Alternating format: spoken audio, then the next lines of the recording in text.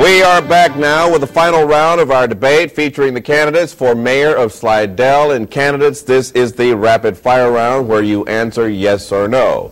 So let's begin. Uh, Mr. Trainer, you started the last uh, round. We'll start this round of questioning with Mr. Hersey. Uh, yes or no? Will Slidell eventually be forced to raise taxes to keep up with the increase in population and its subsequent impact on the public infrastructure? Mr. Trainer. No. We'll start this question with you, Mr. Trainer. Would you favor a national sales tax instead of an income tax? Yes.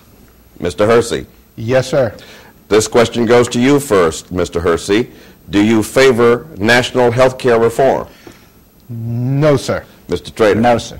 This one's to you first, Mr. Um, Trainer.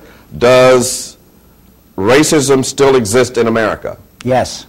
Mr. Hersey. Uh, does racism, Mr. Hersey, still exist in Slidell? Yes, sir. Yes. Uh, Mr. Trainer, is diversity in society a good thing? Yes. Yes, sir. Uh, Mr. Hersey, does corruption exist in Slidell government? Not that I'm aware of, sir.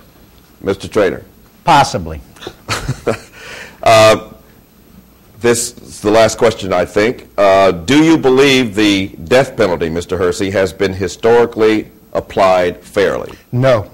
No. Thank you, gentlemen. I've enjoyed this debate, and good luck to you in uh, next you. Saturday's election. That is all the time we have. Thanks to both candidates for participating, and thank all of you for watching, and do have a good night.